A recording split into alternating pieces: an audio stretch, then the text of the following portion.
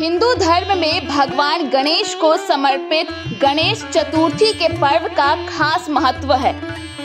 माना जाता है कि जिन लोगों के ऊपर गणेश भगवान की विशेष कृपा रहती है, उन्हें जीवन में कभी भी किसी तरह की परेशानी का सामना नहीं करना पड़ता है। गणपति बप्पा की आराधना करने से सभी दुख दर्द खत्म हो जाते हैं। इसके अलावा अपने घर में गणेश जी की मूर्ति को विराजमान करना भी शुभ होता है। खास तौर पर गणेश चतुर्थी के दिन जो लोग अपने घर में भगवान गणेश की मूर्ति लाते हैं, उनकी सभी परेशानियों का अंत हो जाता है।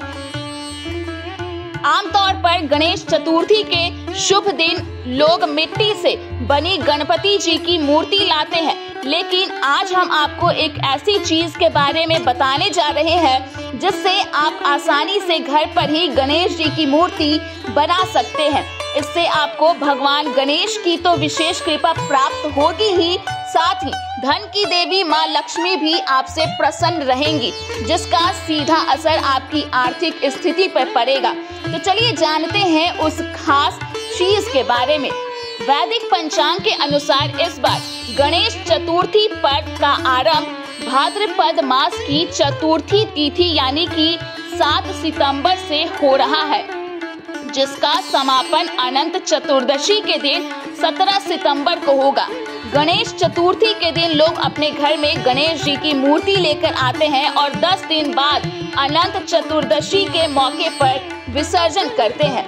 वहीं धार्मिक मान्यता के अनुसार हल्दी में धन की देवी माँ लक्ष्मी का वास होता है। ऐसे में यदि आप अपने घर में हल्दी से बने गणेश जी लेकर आते हैं तो इससे आपको गणपति बप्पा के साथ साथ माता लक्ष्मी की भी विशेष कृपा प्राप्त होगी। माना जाता है कि जिन लोगों के ऊपर माता लक्ष्मी की विशेष कृपा रहती है, उन्हें कभी भी पैसों की कमी का सामना नहीं करना पड़ता है।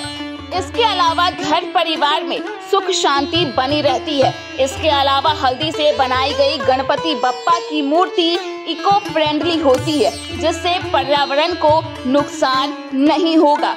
वास्तु शास्त्र में बताया गया है कि भगवान गणेश की मूर्ति के लिए उत्तर पूर्व दिशा सबसे उचित होती है। इस दिशा में मूर्ति की स्थापना करने से वास्तु दोष नहीं लगता है और परिवार में सदा खुशहाली बनी रहती है। घर में सदा गणेश जी की बैठी हुई मुद्रा वाली मूर्ति की स्थापना करनी चाहिए। गणेश जी की सूर उत्तर दिशा की तरफ़ होनी चाहिए। ऐसी मूर्ति की पूजा करने से साधक को मनोवांछित फल की प्राप्ति होती है।